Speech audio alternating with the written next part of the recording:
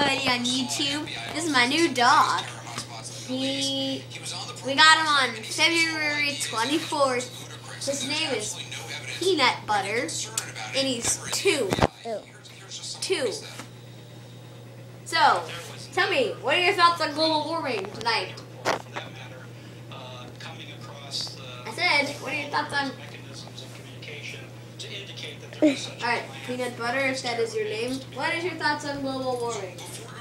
What is your thoughts? Yes, what is your thoughts? What are your thoughts on global warming?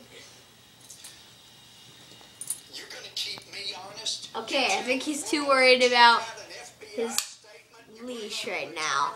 But everybody should know we have a dog.